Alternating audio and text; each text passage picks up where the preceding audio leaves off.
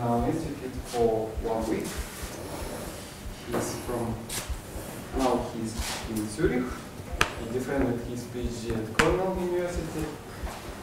And uh, his uh, field of interest is application of uh, algebraic geometry to multi-loop calculations.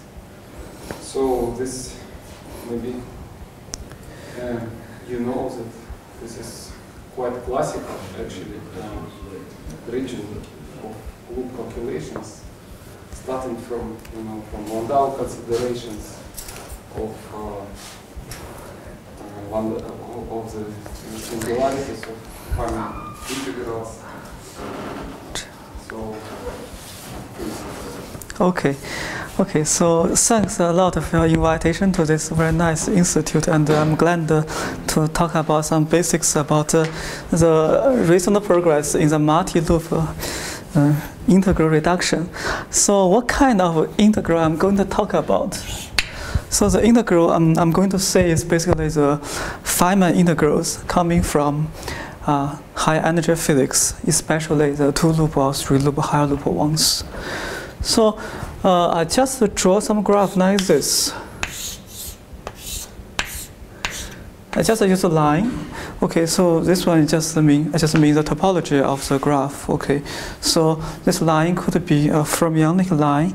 It could be a gluon line, but just any kind of uh, line. Okay, so the thing is, uh, we have a lot of objects uh, like this in high energy physics. Okay, so why this kind of multi-loop uh, uh, integrals are quite important?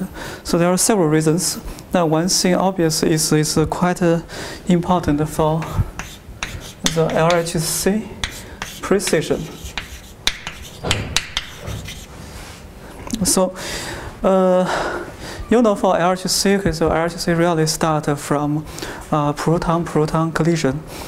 So in this case, okay, uh, in this energy regime of LHC, see actually uh, the processes are dominated um, by QCD. But you know QCD, okay, although for high energy QCD is perturbative, but uh, the coupling constant for QCD, okay, suppose you talk about the Z uh, mass, as, as this mass scale, okay, is actually is not something that small. So if you really try to get some precise theoretical prediction, okay, uh, you try to compare the theoretical results with the LHC experimental results. Then in many cases, you have to calculate the scattering amplitudes, okay, for QCD or for standard model or some kind of beyond standard model, not just uh, to the tree level or one loop level, you need a two loop level. And in some cases, you, you even need three loop orders. So that's a physical reason, so this kind of thing are important. Okay. So that also some. Please uh, uh, speak a little bit louder. Okay, sorry, sorry. Okay, okay. So secondly, this kind of uh, multi-loop integrals uh, are also important for some formal study of theoretical physics.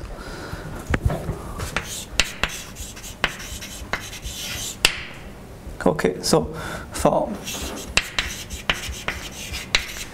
for gauge theory, for supersymmetric Yang-Mills theory, and for supergravity. Okay. And uh, could you call at least a few examples where multi-loop uh, calculations are important for LHC? Uh, yes, uh, for example, this kind of uh, uh, gluon, gluon fusion. So gluon fusion to Higgs, you need this kind of three loop contribution to the process, not just a tree or one loop or two loop.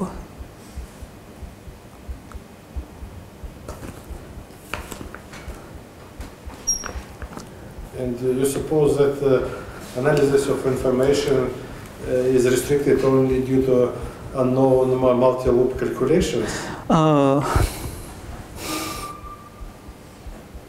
yes, that's a very good question. Okay.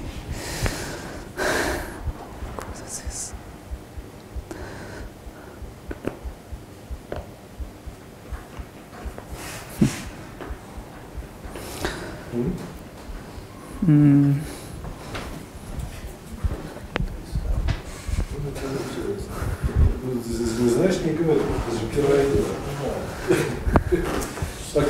I think, uh, well, of course, this kind of alpha s is around point 0.1 is a, a, very important reason, but I guess there could be other reasons because uh, you could say for some of the process, okay, if you consider some kind of uh, helicity violating process, okay, if you say I have uh, some two incoming gluons like uh, uh, plus plus, if all outgoing gluons are also like uh, uh, plus plus. So this one is uh, highly uh, helicity violating. So if you consider some lower order diagrams, okay, if you consider tree diagram, actually it's zero. So if you uh, then in this case, the leading order actually is one loop. Then if you try to get really the correction, you need two loop. So that's uh, one of the things you need for QCD. Why is the two loop or high loop important? The question probably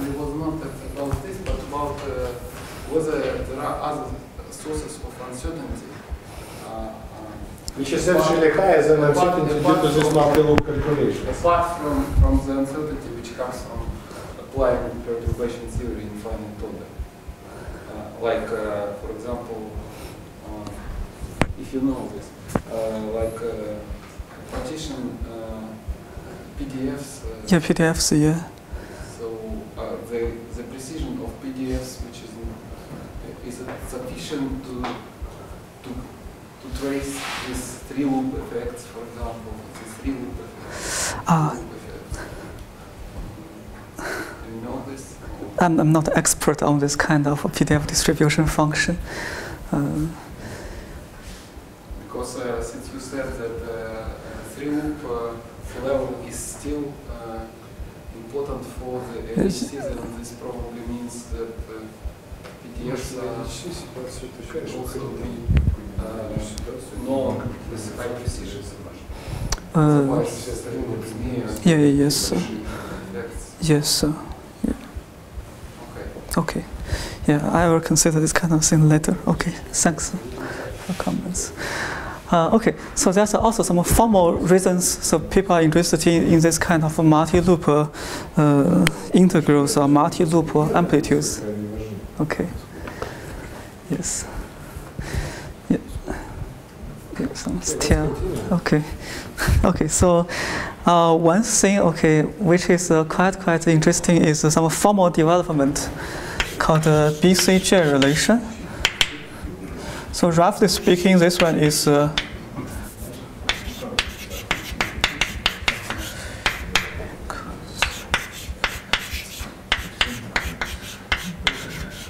Okay, times uh, Mills. So sometimes people are quite interested in the gravity uh, amplitudes, or, well, in general, not this kind of Einstein gravity, but a supergravity. So one of the fundamental question is uh, if this, uh, for example, the maximal supersymmetric gravity theory, the NX8 supergravity theory, is uh, uh, finite or not, okay, is uh, eventually renormalizable or not.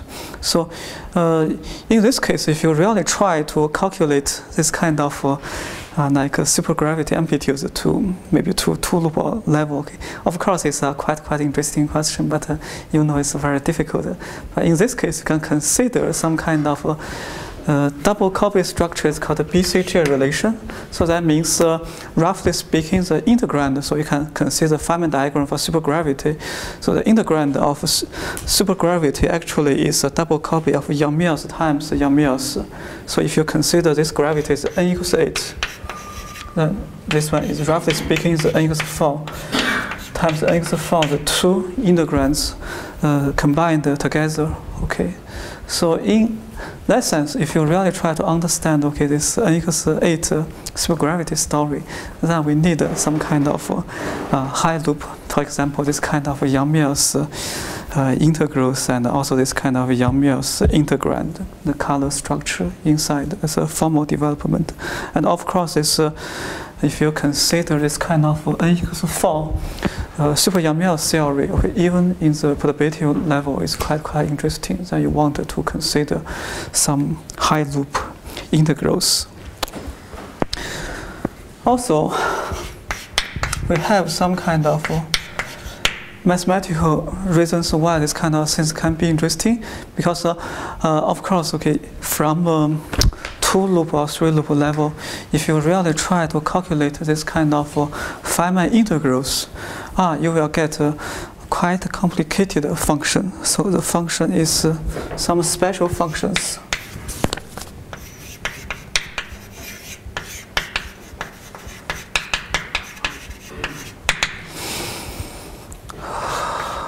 Okay. So in the simplest case, you have some poly, uh, this uh, polylogarithms, which is a generalization of the Euler polylogarithm. But in the more complicated case, you have elliptic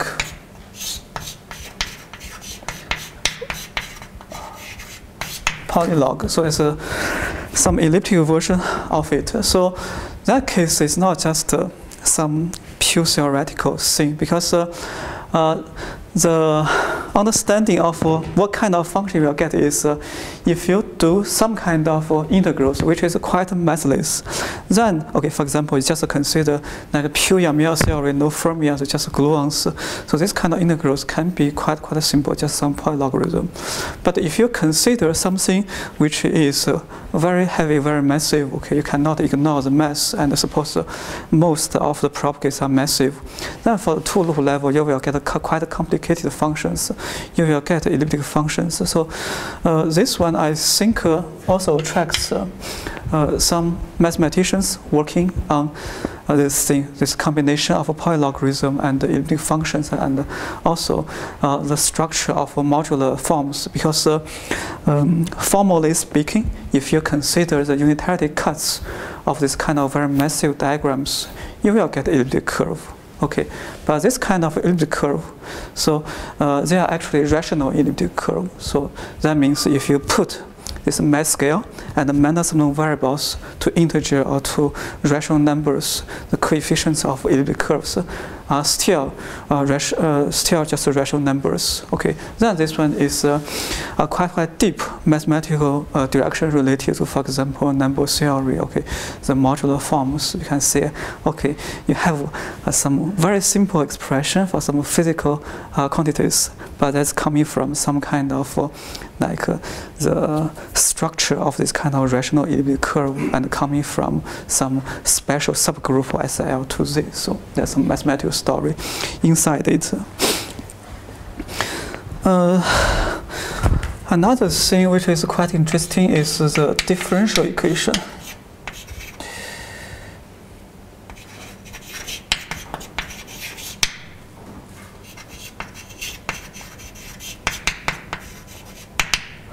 Yeah.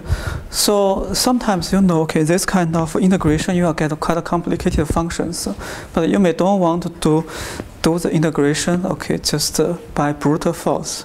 Okay, you may consider the derivative of this kind of uh, multi-loop uh, integration, okay, towards some kind of kinematics variables. Like simple is the case, it's just the Mandelstam variables, and then you get a differential equation. So in many many cases, actually, it's uh, quite uh, uh, simple to solve this kind of differential equations than to do the brute force calculation.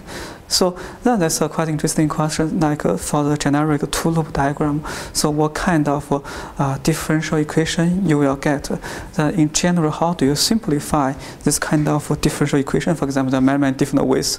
One thing is uh, if our world is four-dimensional, okay, but the integration is defined in the d-dimension, then, okay, uh, actually, suppose you don't want all the d-dimensional information, then given this kind of d-dimensional differential equation, then how do you do some kind of expansion to get uh, this uh, 4D information? Okay, so this is uh, one way to study the simple form of the uh, differential equation. Another thing quite interesting is, of course, okay, uh, given, so this kind of differential equation is not just uh, uh, to solve one function, but maybe to solve a list of functions.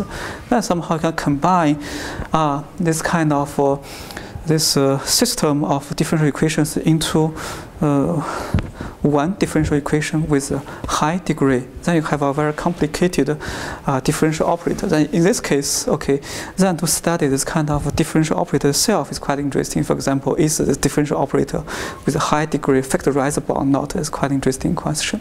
So uh, I would say that this kind of multi-loop integrals they are somehow first they are quite important for LHC physics, okay, and also it's quite important for the formal development for theoretical physics, like especially for this kind of uh, perturbative uh, supergravity, and also it's quite interesting for uh, mathematicians.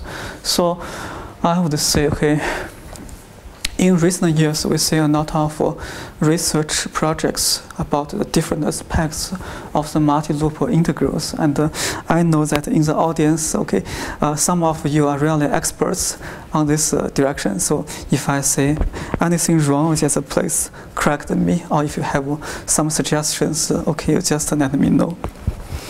Okay, so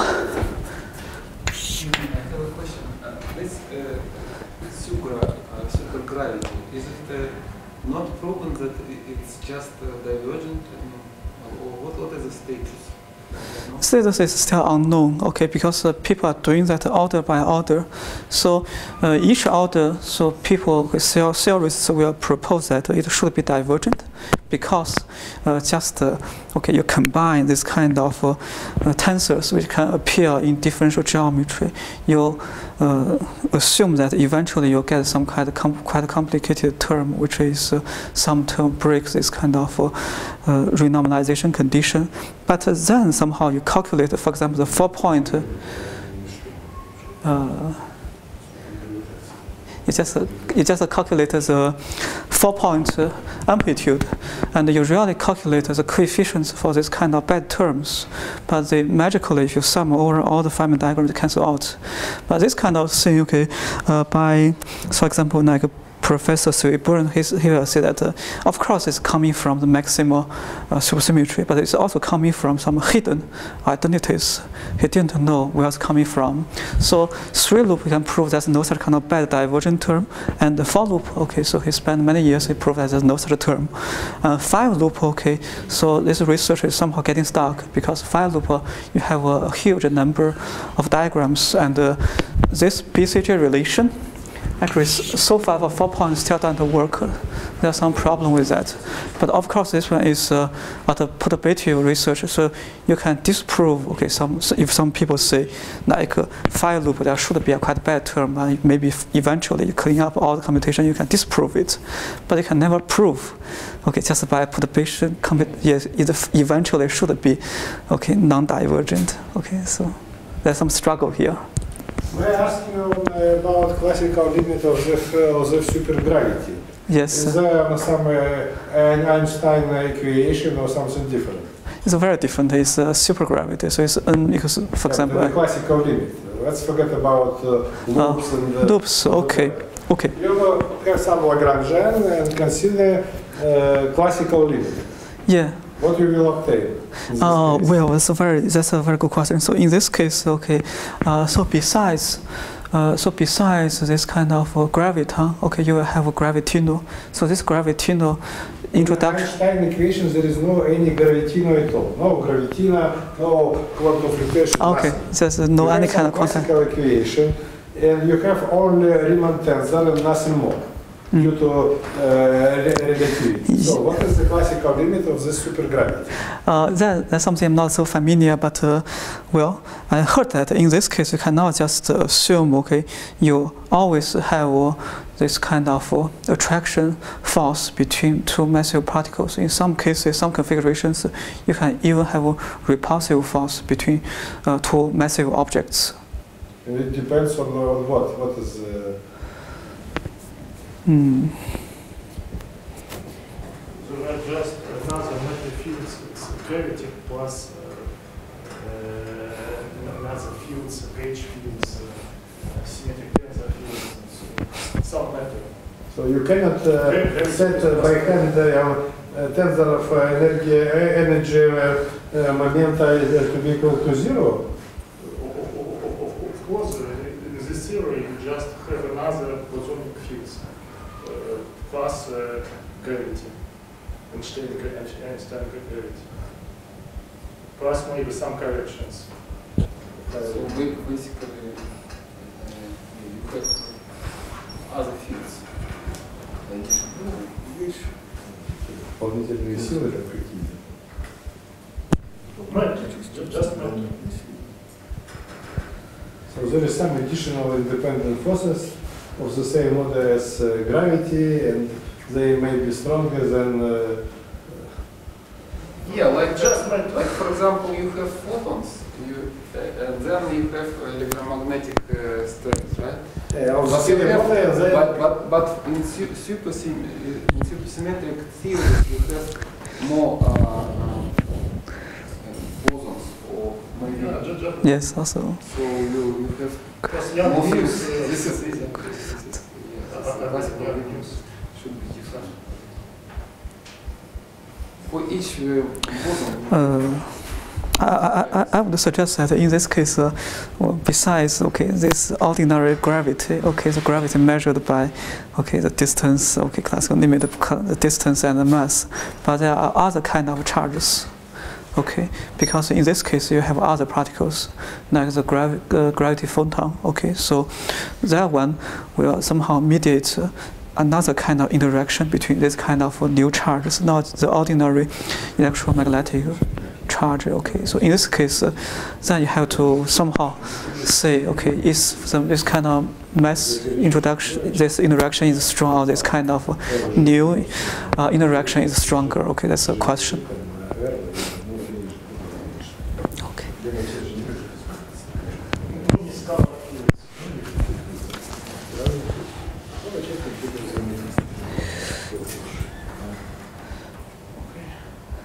Okay. Yes. Okay. So in this talk, I'm just talk about one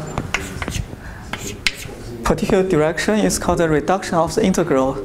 Uh, so we know it's not something that new. Okay. So, uh, well, just uh, from uh, maybe from this first class of uh, well, the first semester class of uh, calculus, you know, if you have very complicated integral, you don't want to do it by brute force. You can either change the variables or you do some partial fraction, or you do some kind of integration by parts. You first simplify the integrals and try to see what kind of answer you have. So uh, all these kind of uh, tricks can be used for very complicated integrals, like two-loop Feynman integrals. So uh, in general, okay, unfortunately, if, if you consider some real amplitudes, like amplitudes from two-loop or like QCD standard model, these integrals are very complicated, and the reduction itself is also very complicated. So I will uh, go through this topic somehow.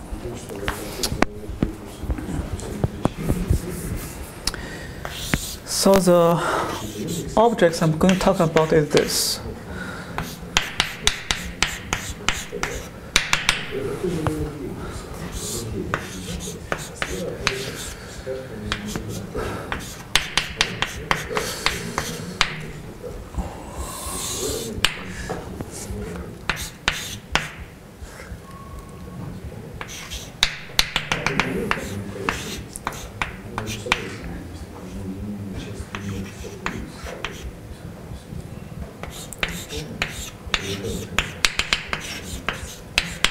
Okay, so this is a Feynman integral. Uh, in general, so uh, this denominates, okay, there are some quadratic functions uh, of the loop momenta just from Feynman propagate. Okay. Uh, sometimes we could have a doubled propagate, either just directly from the diagram, okay, so from some special kinds of Feynman rules, or it could be okay from some kind of identities rewrite the original integrals, okay, with some kind of double propagate integrals, and uh, okay, if you talk about gauge theory, then in general this one upstairs is not uh, the number one, but it's a huge tensor uh, of the loop momenta. Okay, here. So uh, sometimes we try to rewrite the whole thing like this. Okay, we can formally rewrite it as a 1, okay, but then we request that this alpha's index could be either positive or 0 or negative. When that one is negative, then we just put it, remove it to the upstairs. That means we, we have the tensor. So uh, in general, I just write down something like this, but does not mean, okay, upstairs this is always 1 because some of the index could be, could be negative. Okay, so uh, I just show one typical way of uh, uh, consider, for example, uh, if you try to get some cross section, you try to get some kind of scatter amplitude, what can you do? So the first step may be just uh, simply from Feynman rules. Okay. So you just sum over all the diagrams, so you get a quite quite a big integral, okay, with a complicated uh, numerator as a tensor. Or sometimes it's good to use unitarity. So unitarity means uh, you can really cut the loop diagram into something lower loop diagram or even tree diagram. So uh, somehow you can reconstruct this integrand Okay, this is Feynman integrand from the tree amplitudes. Okay, in many cases, uh, actually it's a simple than direct Feynman approach, but not always. Okay, so especially you have a lot of massless particles, you know, a lot of gluons in the process. Uh, then actually is uh, uh, unitarity method is very good. But suppose everything is massive, then unitarity itself, this procedure could be very complicated. So uh, no matter what kind of way you are using, you will get some integral like this. And actually not just one integral, you have a huge integral with uh, uh, different this kind of uh, alphas, positive, negative, and also this uh, in front, uh, all these kind of coefficients from your vertex. So uh, in this case, what can you do here? The first step may be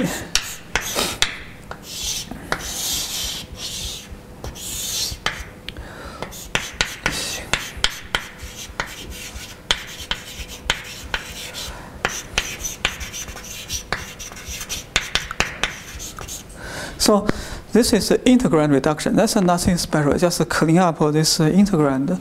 So the way to do it is, uh, okay, let's go back to this language. Suppose you have a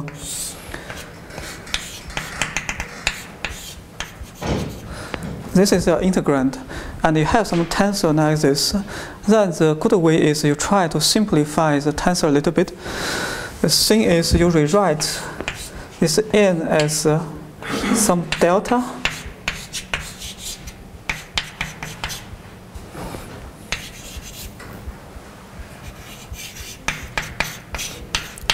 Okay. So the way to do it is uh, okay you move a lot of terms into here the right the right side. So make it proportional to one of the denominators. Then this term will cancel one of the term downstairs. Okay then you moved a lot of things into uh, the Feynman integrals with the field propagate. Okay, and uh, in this way you can combine a lot of terms. So uh, of course you, you need to make sure that this uh, delta itself is much much simpler uh, than the n here.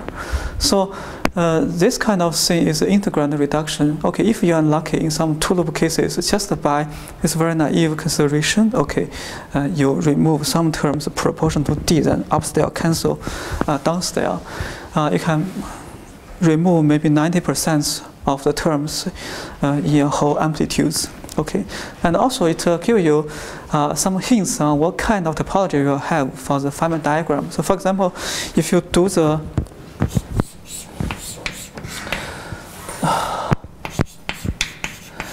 the d-dimensional, okay, format to epsilon is d-dimensional, okay, diagram. Suppose you have something very complicated one-loop diagram, which is a hexagon. Okay, suppose you have six particles interacting together. You may have a uh, hexagon from uh, the from the Feynman rules, but you know that the integrand of this one is uh, something like this. Then there's a trick. The trick is coming from tensor uh, decomposition. External legs are before the before the or also in- in- Uh, sorry. Okay. So, so suppose that I, I, my convention is inside that is d dimension, but outside that's physical on shell 4D. Okay. So if you have this diagram, you can find some uh, tensor decomposition trick.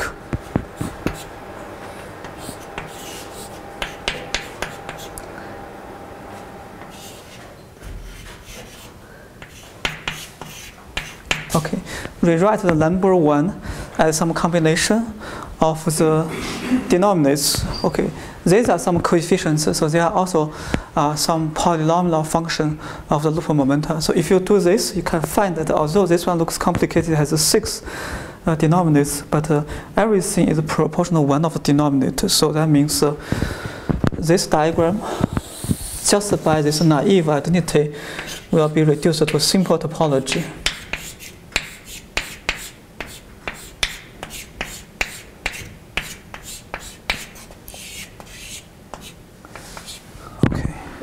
We'll get a pentagon box and triangles and uh, even lower diagrams.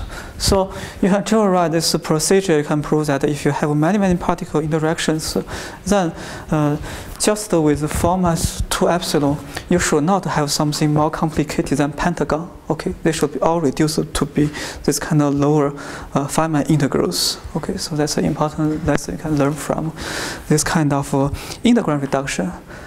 But uh, this kind of thing, okay, you just use the property, some tensors can be decomposed into uh, something proportional to denominator, and you just cancel down upstairs, downstairs. That's just some kind of algebraic simplification, okay? So the next step is, uh, okay, so after this step, we still have a huge number of integrals, but still many integrals are related. Okay, they are not just related by this kind of integrand uh, naive relation, but they are actually related by this is an integration by parts identities. Okay, so if you just look at the integrand, you don't see the kind of relation. But if you can say, okay, if two uh, integrands just differ by total derivative, and this total derivative does not give you a surface term, then actually these two integrals are same. That's called IBP identity. Also, sometimes you need to consider symmetry.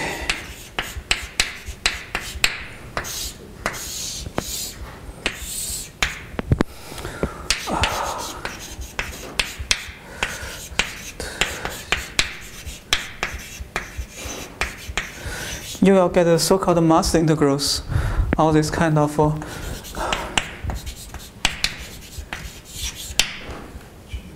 minimal sets.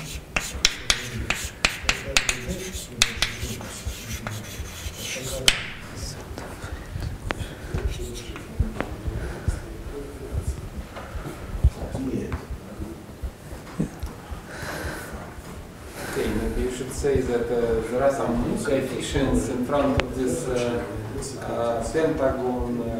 Box, uh, Yes, sure, sure. Yes, There's some there's some some coefficients here. Yes, yes, yes. Okay. Ah, so your question is uh, how about divergences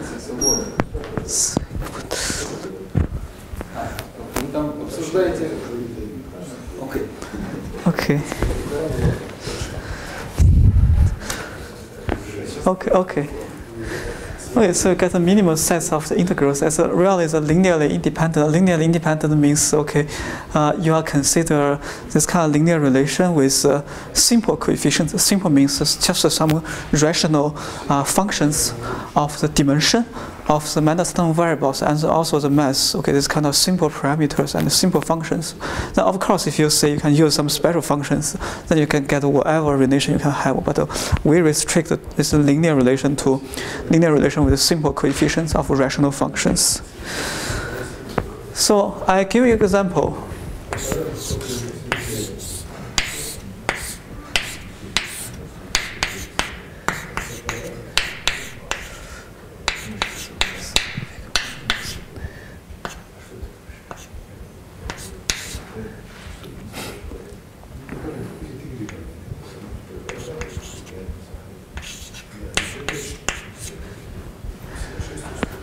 Okay, we have this kind of uh, double propagate diagram. Suppose everything is massless. That's the simplest example you have.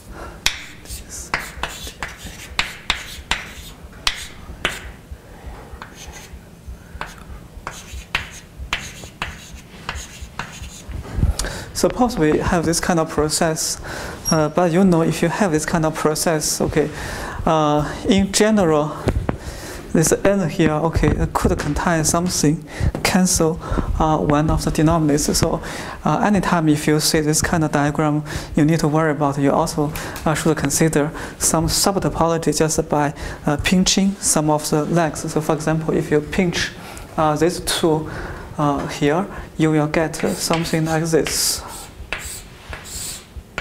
Okay. It's still a two-level diagram. Okay, uh, has a few properties. It's a sub-topology of it, so it may happen. So, uh, in reality, we really need to consider a huge class of diagrams. Even in the beginning, you just say, okay, I should have something like this. So you need to consider, okay, this kind of index, alpha one, uh, actually is uh, positive or zero.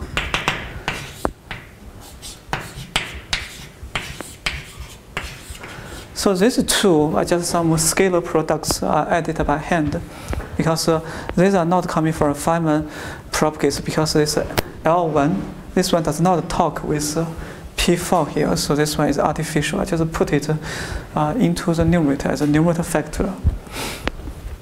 Then you want this one to be uh, either 0 or negative. Those uh, alpha 1 to alpha uh, 7, they can also be negative, no? Uh, well, suppose I just talk about this particular channel. Huh? I just talk about this particular channel. This uh, S channel double box contribution. You could also have a T channel. Then you have uh, just uh, just opposite way. You could have some of this kind of alpha things to be negative, but this I kind. mean, after the reduction, you might have also this, but your, your claim is that you don't have uh, numerators, or what? Uh, when, when you reduce this. Ah, yeah, okay. Yeah, you're right. Yeah, you're right. It should be. Should be. Yeah, should be. You're right. I think you're right. Yes. Yes, because after reduction, you could have something. The denominator becomes okay. Alpha 8 is. Uh, Alpha eight is this one. Yes. Okay. Yeah, you're right. Good. this can be. Yes, could be any. So actually, so it seems that you have an infinite number of the integrals, but in real life you don't have so many. Okay, because uh, you need to consider like a renormalization condition. Okay, so some thing will not appear in the Yang-Mills theory. So even you consider super gravity, or Einstein gravity, even then still uh, the power cannot be very very huge integer. Okay, so but still, okay, uh, you have a lot of integrals to consider, but uh, you can say that after the integration by parts identity, there are eight, only eight integrals left.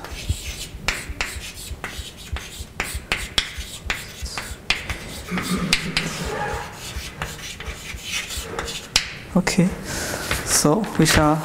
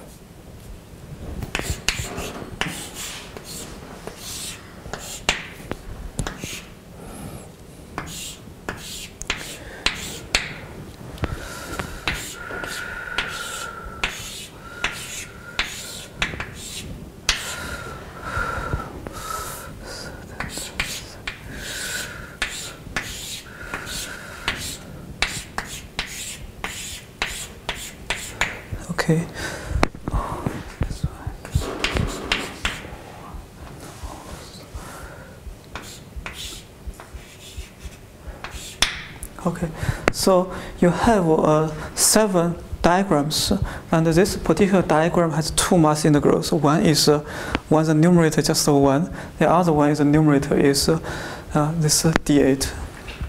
Yeah, so although this one could have maybe thousands integrals, but eventually by the integration by parts identities, you can reduce the whole thing to only eight integrations. Then uh, you can somehow evaluate this kind of uh, integrals one by one, or you try to consider the differential equations for these eight integrals. But otherwise, it doesn't work if you really try to calculate uh, thousands of integrals. It's a very, very bad situation. So this kind of uh, IBP reduction actually is crucial for the well for study of uh, like the perturbative QCD for higher order, okay, and also for other kind of uh, gauge theory study for the uh, high loop order.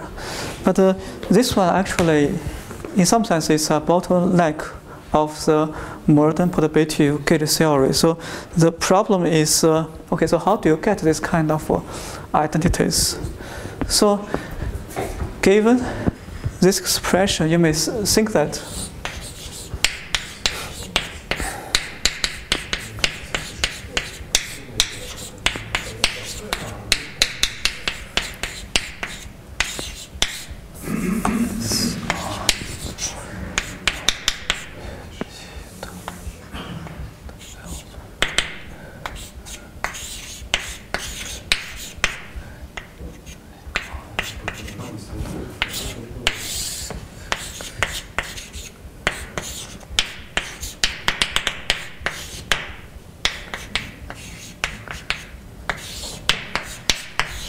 Okay, IBP identity. So, um, so here, this thing is a total derivative. So suppose there's no surface term, then this one is integrated to zero. But the thing is for the for the high loop level, this kind of thing, okay, uh, this v may not be a constant. You, you, you need to assume this one is also a function of this L. Then you have a lot of possibilities. Then you could have a, probably a huge number of IBPs. Then uh, you have a linear system of a lot of relations. You need to do some kind of uh, Gaussian elimination. Okay, find some way to really get the IBP you want. But this one is very, very time consuming, and in many cases, is the most time consuming parts of computing uh, the multi loop amplitudes. Okay, so especially, okay, for this one is okay, but especially something like uh, if you have five points, okay, then in this case you have uh, like uh, five Mandelstam variables, or if you consider something like uh, four points with a lot of massive particles inside, and if you try to get some kind of symbolic relations, then this kind of computation is extremely slow. Okay, about okay some uh, thinking of the IBP identities. So let's go back to the historic development. So this kind of IBP identities was first suggested by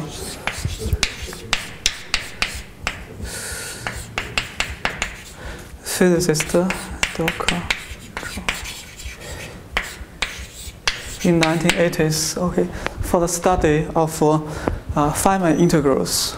Okay, so that one was known for quite, quite a long time. It's also a historic and a classic development using the IBP identities to reduce the number of integrals you could have for one process. Okay.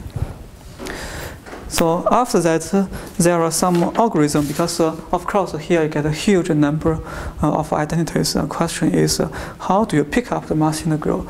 Then in which direction you should do the reduction? Okay, so basically you need some kind of definitions. What is the ordering of the integrals? What kind of integrals to be removed? What kind of integrals can be chosen as master integral?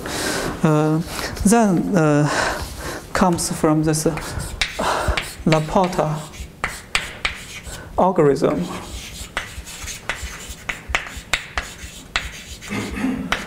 So from 1990s Okay, then uh, nowadays there are several uh, public programs you can try. One is uh, by Smirnov and Smirnov.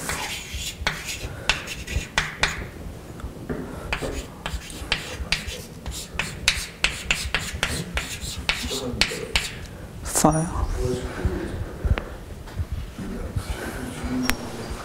And also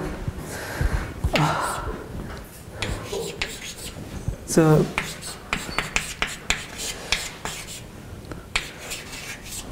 the pro program by by Roman here is a nice program called LiteRed, and also there's a program.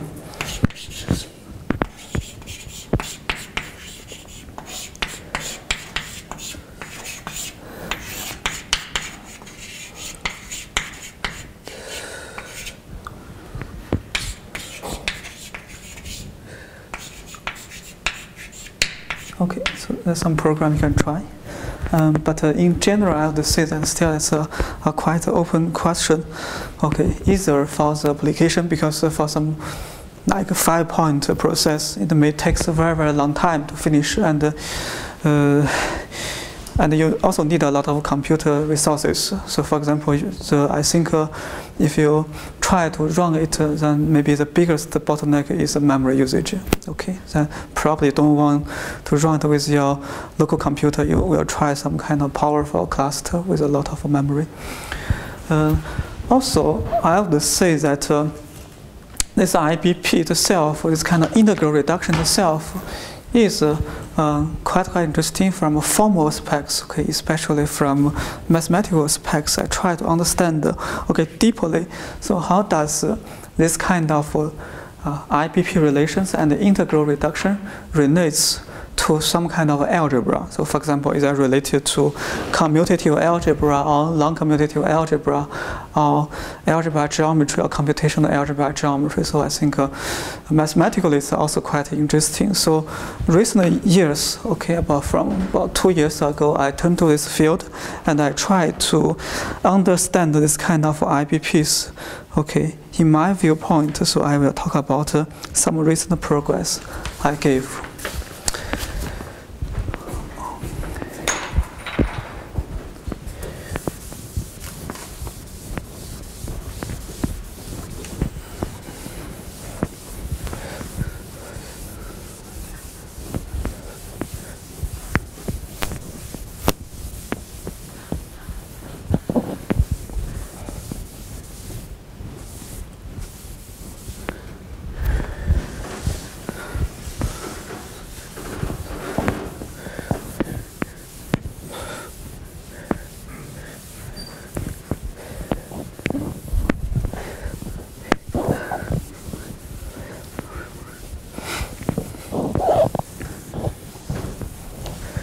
Maybe it is worth noting that uh, there is also a private program now which which uses this finite fields uh, also by uh, Andres Montefiore, Oh, yes, yes. Because the thing is, uh, the thing is, uh, the, of course, the difficulty is coming from you have to do a lot of uh, symbolic computation. Okay, in yeah, in linear algebra. But of course, you can. private means that uh, it is not available for Okay. not focused. yes. But they claim they have it. The thing is, yeah, that's a There is even, I think, a, a name, like FinRed or something. okay. Yeah, the thing is, uh, if you have a lot of uh,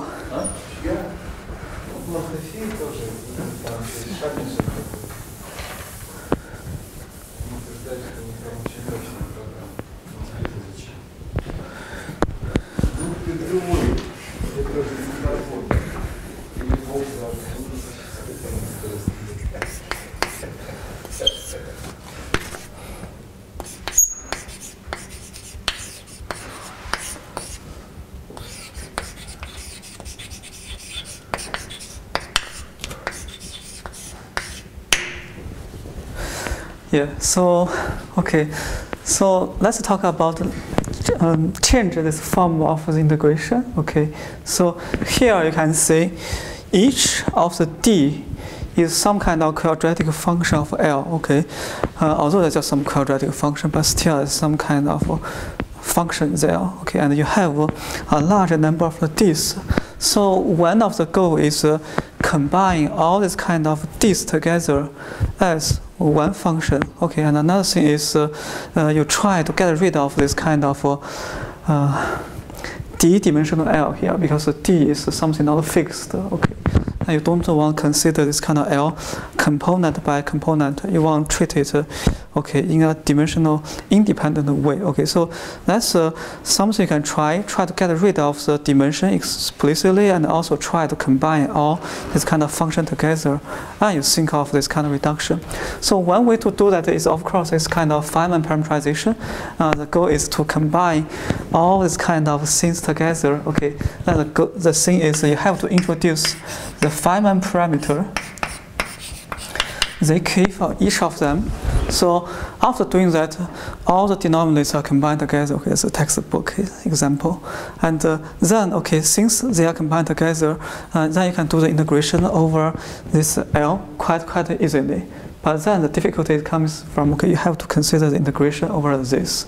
Then you transfer to another form of the thing.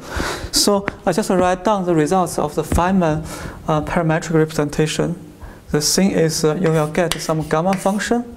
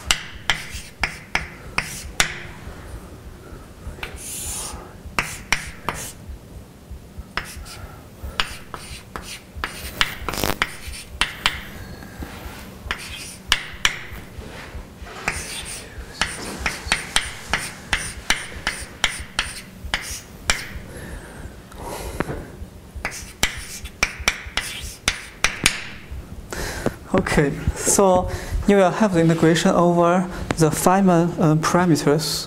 Okay, so uh, basically after you combine all these kind of denominators, you have this kind of L integration. That one is trivial, but it will give you some overall factors, some gamma functions, and also uh, actually this kind of coefficients of the L will give you two polynomials. So these are, suppose you say the sum over zi di, that's a Feynman parameterization is uh,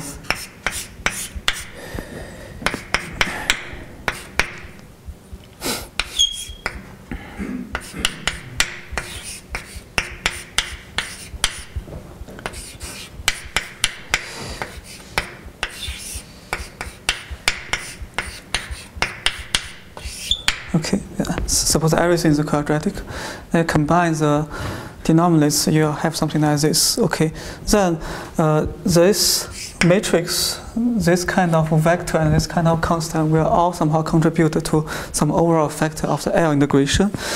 And uh, this uh, U is just uh, the determinant of A, and this F is uh,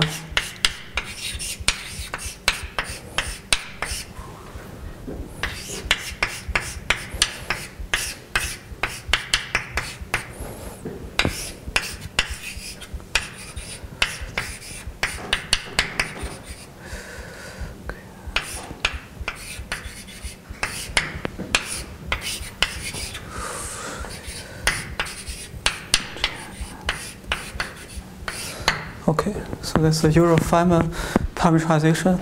So if you have some one loop case, actually it's quite quite simple because uh, if you consider one loop case, the thing is uh, this. Uh, it's just the sum over the, the i's, but uh, because of delta function, this one is uh, dropped out. It's just a constant uh, one here. But uh, if you consider two loop or higher loop level, okay, this uh, uh, Feynman parameterization is getting more complicated because uh, you will have two independent polynomials. So in this case, you can use a trick to get rid of these two polynomials. So the thing is, uh, you can consider some kind of a beta function uh, identities to combine these two things together. The result is uh, you will have a different kinds of Feynman parameterization.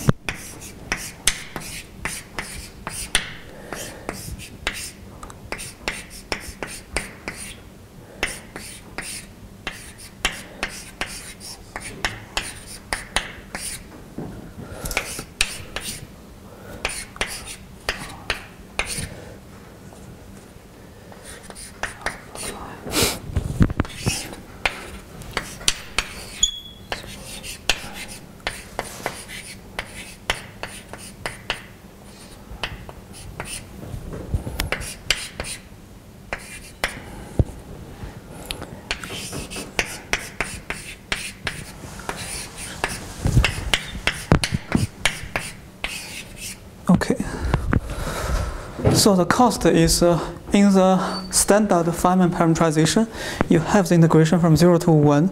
But here, this z is not the original z. It's uh, like uh, a rescaled z. The integration is from 0 to infinity. Okay, but the good thing is uh, this f and u, they are combined together. Okay. Uh, to my understanding, actually, if you look at it carefully, uh, this f and u actually they have two different kind of units. Okay, if you say the dimension of the mass, they have two different units. So I would say that physically this sum uh, is uh, not meaningful, but uh, this identity is correct because uh, both and f and u, okay, they are homogeneous polynomials. So you can consider some kind of beta function identity. After this kind of integration, you get this kind of thing back. But the g itself is not physical. That's my understanding. Okay, so uh, you can say that uh, this complicated integration, okay, now you somehow you remove this kind of d because uh, now this d only appears uh, here. Okay, I forget about this kind of overall, um, this overall factor then only appears here.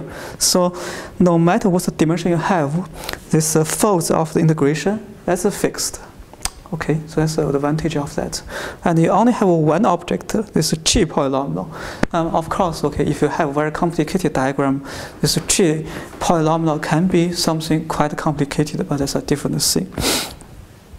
Uh, you may consider, for example, symmetry and also IBPs in this representation. So previously I say you consider the total derivatives in L, but you can also consider total derivative in Z here. Okay, then you will get some kind of integration by parts identity. But uh, uh, one subtlety is uh, this integration is not from minus infinity to plus infinity. Okay, it's from zero. So in general, you need to consider uh, actually the surface term as a zero. In this case, it's not uh, something that complicated, I would guess, because uh, you just put in zero into some total derivatives. The thing is equivalent to say, okay, I consider some kind of lower topologies, because when z equals zero, then um, basically this uh, just by parameterization is propagator is dropped. So you'll get some surface term which has some lower um, topology integrals. That's a one way of uh, doing uh, this uh, Feynman integration. Of course, you can really do some computation. Suppose this integration is uh, is not that complicated, then you can brute force just integrate out the results. So uh, in this representation, you see the feature is, uh, of course, is if when this alpha i, okay, I have to say this alpha i should be, okay, bigger or equal than 1 here. If you consider the case uh, alpha i, which is uh, less than 1, you cannot just simply do something like this. You have to replace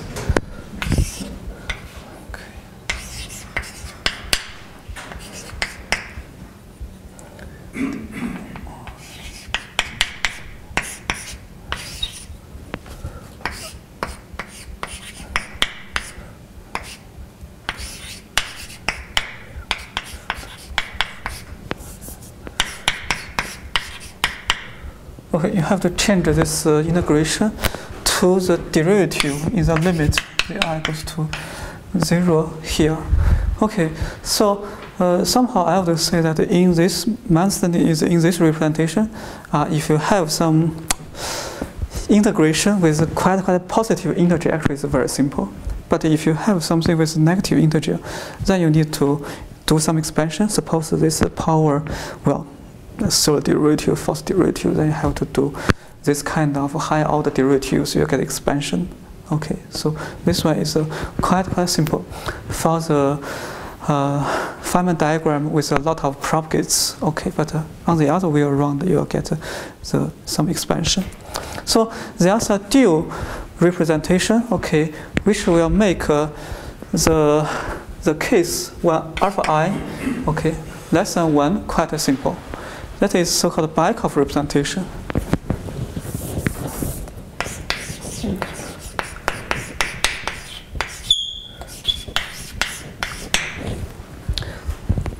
Think it's from 1994, isn't it? Or even early. Okay, so this one is uh, relatively new. So that one we are quite familiar because the class book, this kind of uh, textbook example, we just combine the denominators together. So eventually we get some kind of integration over Feynman parameters, and also something we this a kernel uh, coming from the kinematics. So uh, Baikov this one, okay, since probably you are not so familiar with it, so I just uh, do one example for you, and uh, you can see actually it's generally true for any number of loops.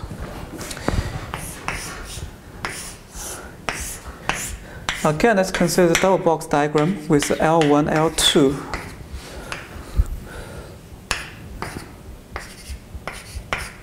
We have seven propagates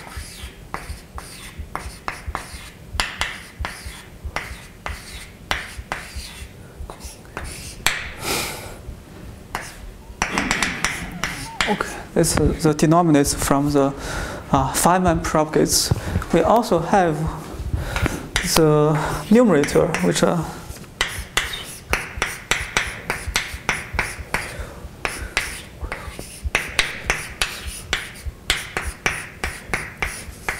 okay, something like this. So here, okay, uh, for the Baikov representation, the goal is not to uh, directly combine the denominator together, but uh, to linearize the denominators. So the, the way to do that is uh, you can say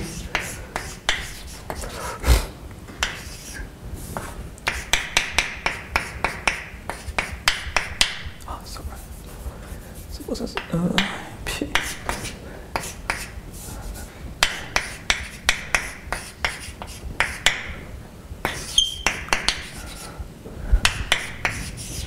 This one is a three-dimensional linear space because uh, energy momentum conservation. So let's define this space as V3. Let's decompose L1 as uh, L1 is 3, that's a projection in the V, and also in the orthogonal okay, complement. Suppose I call it uh, L1 perpendicular and also do something like uh,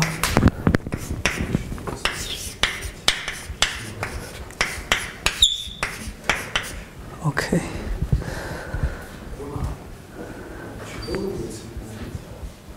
Maybe you should uh, skip some uh, technical details. okay. Sorry i'm too slow on this. Okay.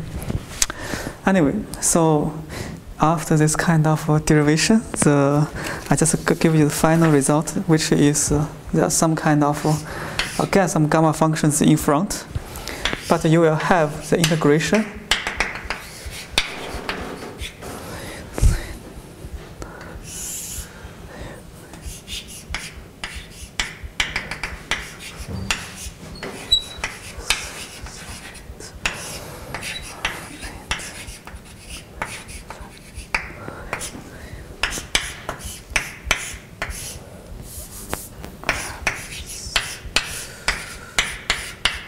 Okay, so this is a, a Baikov representation.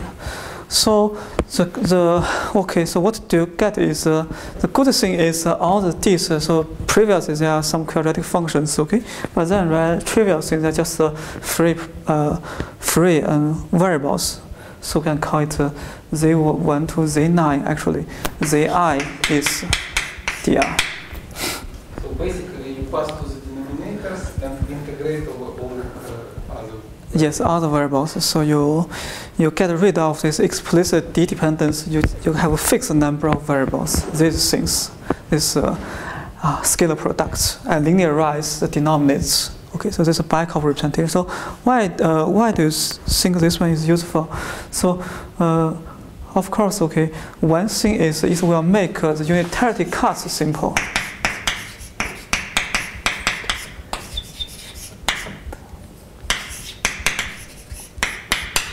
Okay, so if you consider maximum cut, for example, maximum cut, that just means you take the residue at uh, the multi-residue. Okay, and in this case, you just do a Taylor expansion over this integrand here. Okay, then you can study the, uh, this kind of maximum cut information. You can also do some long maximum cut. So uh, why do you think this kind of thing is useful? Because uh, either you can consider using this kind of uh, way, okay, to do the unitarity to glue this uh, tree amplitude into loop amplitudes, and also you can use the maximum cut to get some partial reduction information. Okay, so you can derive some parts of the IBP identities. Okay. Uh, other things why this one is quite useful is uh, it will make uh, all the integrand reduction totally trivial because uh, then whatever cancellation downstairs or upstairs don't need any kind of tricky consideration. It just uh, okay, mathematically simplify that. Okay, it's all trivial. Okay, you don't need to combine how to combine this kind of D together. So it's a Baikov representation. So in some sense, it's a duality of the Feynman parameterization. Now, of course, the complicated thing is you have F. So this one is a Baikov polynomial.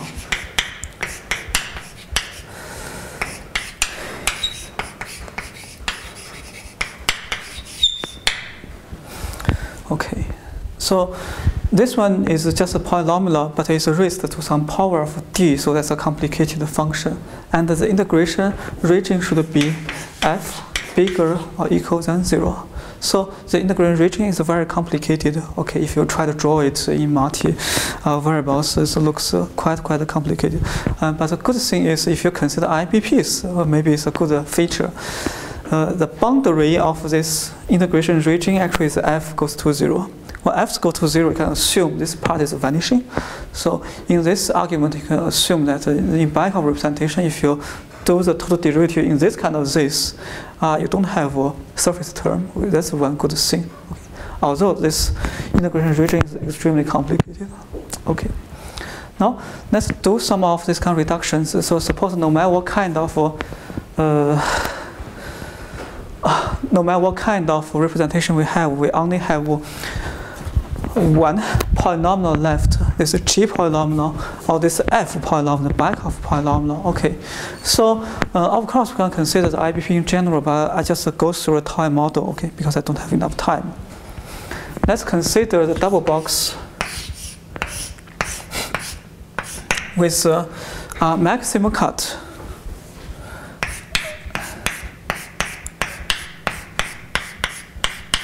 Suppose we use a Baikov representation and maximum cut. You will in general get some integrals like this.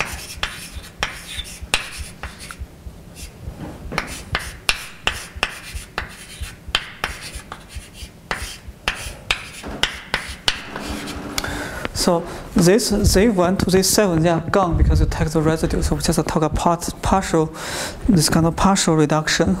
So in this case, you will write some IBPs probably look like. Uh,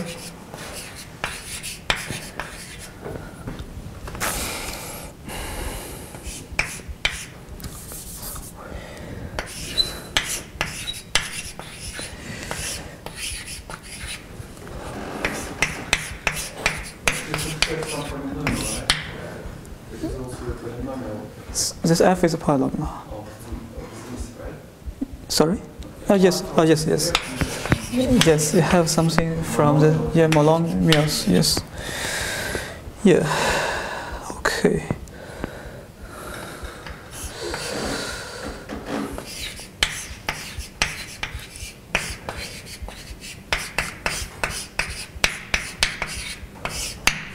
Okay, so that's a generic uh, IBP can have. This A, this A8 and A9, okay, so they are not just a constant.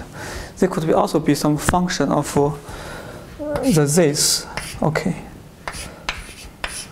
So if you're naive to this kind of uh, integral reduction, of, course you can put different kinds of functions here, get a lot of relations. But uh, uh, there's a general problem because uh, if you take the derivative, you have something like uh, take the derivative over this uh, kernel f. Okay, you will get uh, the thing is.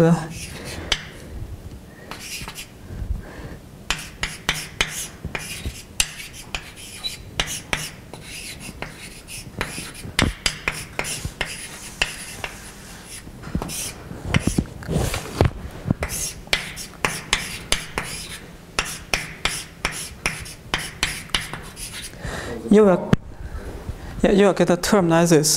So this term is not wrong, but it's not convenient because uh, the power is changed. Okay, the power is changed. So, so besides you get some reduction relations between the integrals, you are also getting some relations between integrals in different uh, space-time dimension. Okay, it's not wrong, but not so convenient. You have to somehow convert it back. So the way to convert it back, one of the way is, uh, uh, of course, this way is uh, just one of the way. I don't mean that's uh, always the best way. It's so called.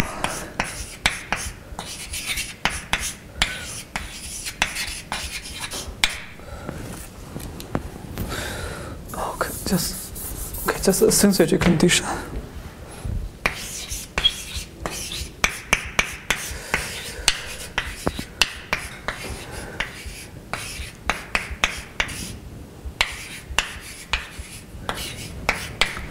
You assume, okay, these two polynomials, okay, of Z, they are not arbitrary, but they satisfy something, okay, dot product with first derivatives, get something proportional to F. Okay, uh, all you can see, I put a. Coefficient. It's a polynomial, it's a polynomial, otherwise it's always proportional to it, yes. Okay, so that is all polynomial.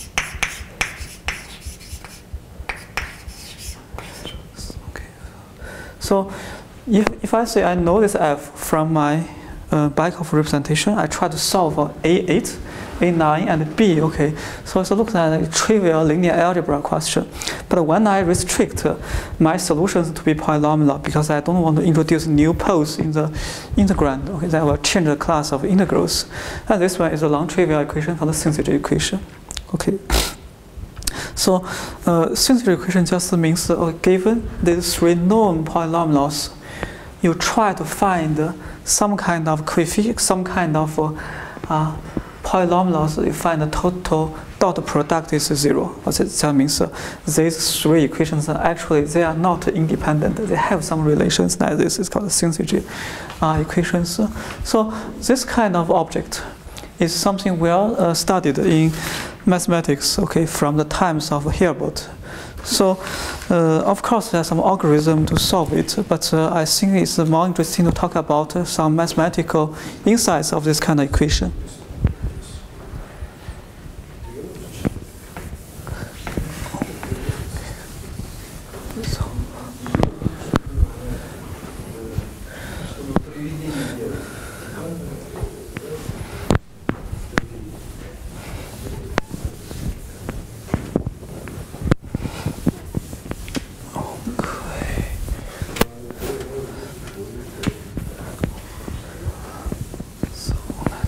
So let's uh, look at the syzygy equation in a little bit detail. So if I say I have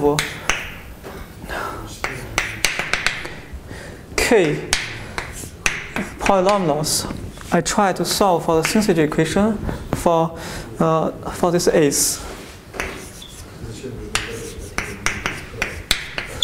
I consider each of the AI should be in the polynomial ring. Okay, then of course, okay, you have a lot of trivial solutions if you say.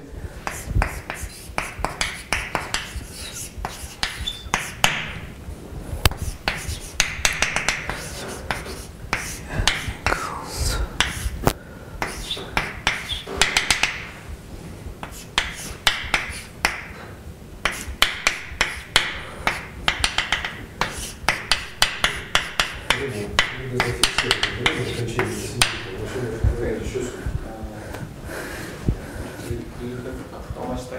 Maybe five minutes is okay. Okay, sorry.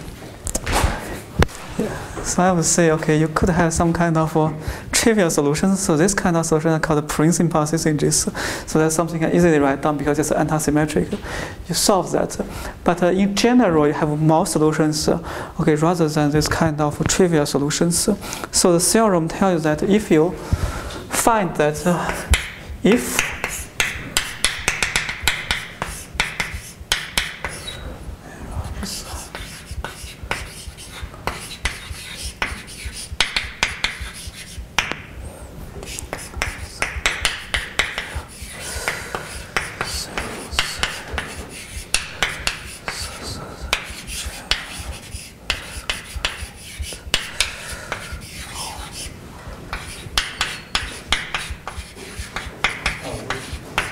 Okay.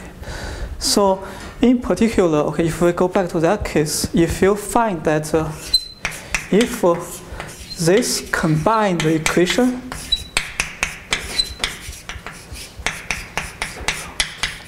has no solution, okay, then the equ- equation is solved. Okay, only have a trivial.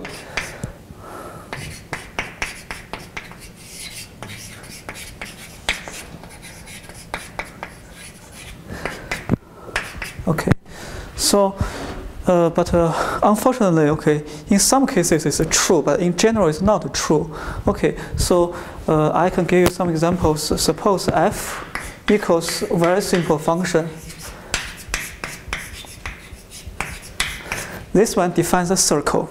Then this is true. Okay, if you have something more complicated, uh, In, in, in, in, oh, sorry, let me, let me finish. uh, no. No solution. Yes, no solution. This condition is true. So this one is also true. So if you have a uh, have a look of the picture, this one is a circle. This one is an elliptic curve. You can still try to draw it. You will get something like this. Okay. That's a no. This combined equation no solution. Okay. Then tri- only trivial syzygy can solve your reduction problem. But sometimes, when f equals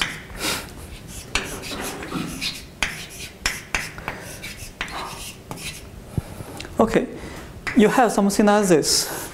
This one is not an elliptic curve because this one has a cusp point. It's a very bad point. So, uh, in this case, if you solve that, it has a solution. The solution is just this cusp point.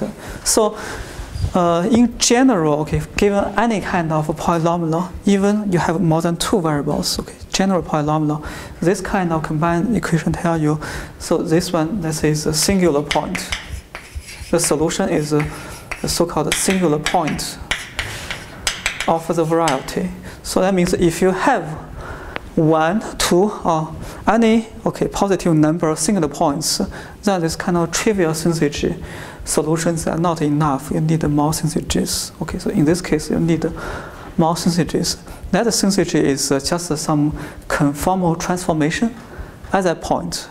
Okay, so that's a geometrical way to understand uh, so how difficult the reduction is. So that means uh, actually in some sense, okay, if you don't worry about uh, how slow the symbolic computation is, uh, if you say if you have something very massive diagram uh, like this, if you have a massive double box, let's put everything massive.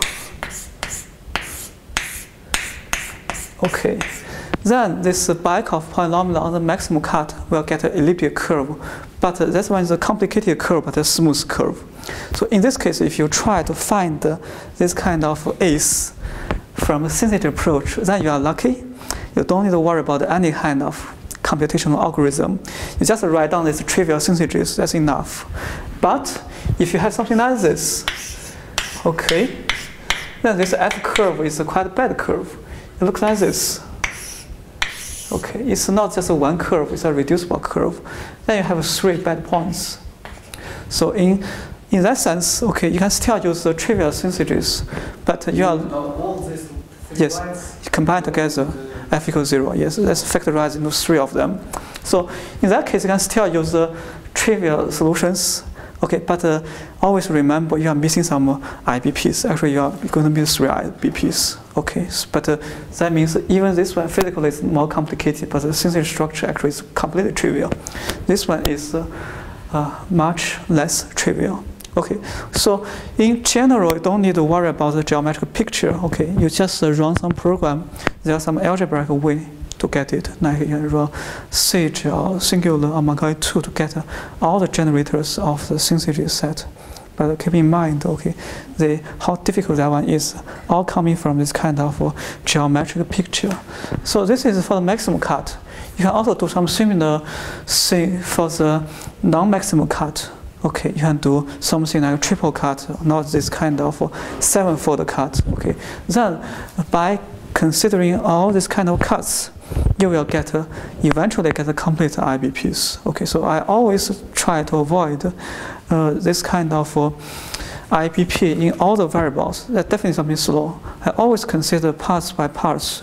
Each time I consider some kind of uh, unitarity cuts, I get a, a part of the IBP, and then I combine this kind of thing together. So uh, we try to somehow implement this algorithm by the syzygy analysis and the different kinds of unitary cuts. So so far, okay, for this kind of simple examples, it's really fast. Okay, if you consider this double box to complete to a sunset level, okay, uh, to this uh, double bubble, it only takes about 40 seconds on laptop.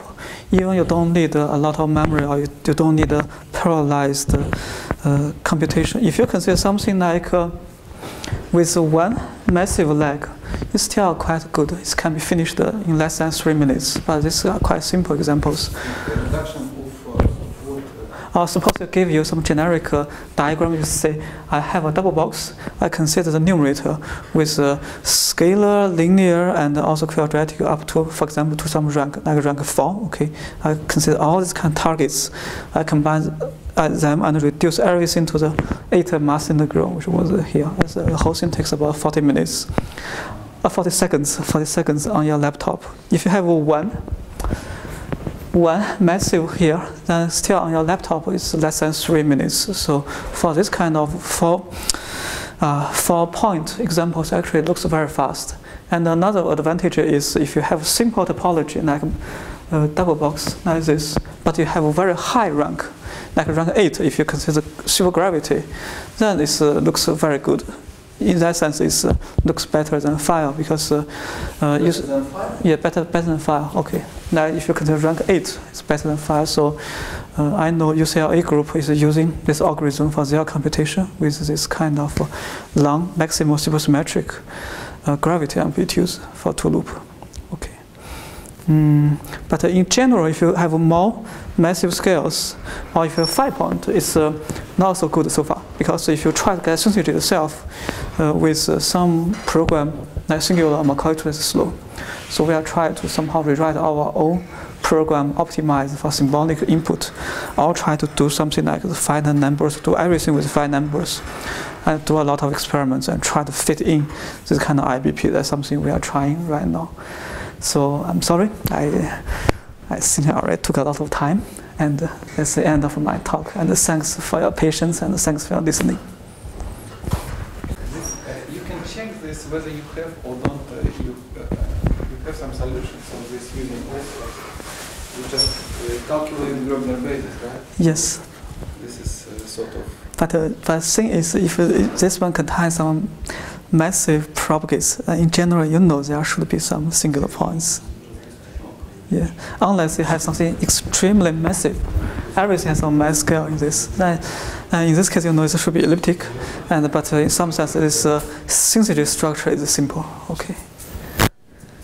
So your point that the syzygies can uh, can really help for these two loop examples because because it, the, the thing is, um, I what I heard from UCL group is uh, if you really have something like a simple topology but a lot of very huge rank, then actually FIRE seems that uh, takes uh, quite a while to finish. Okay, but in this approach, it seems that everything can be simply uh, constructed from uh, from this kind of syzygy generators. Okay, so uh, roughly speaking, okay, if you consider rank 8, then you need to consider the original approach. You need to put something quite high rank here. You need to do a lot of tests of linear reduction. But uh, syzygy itself already has some power.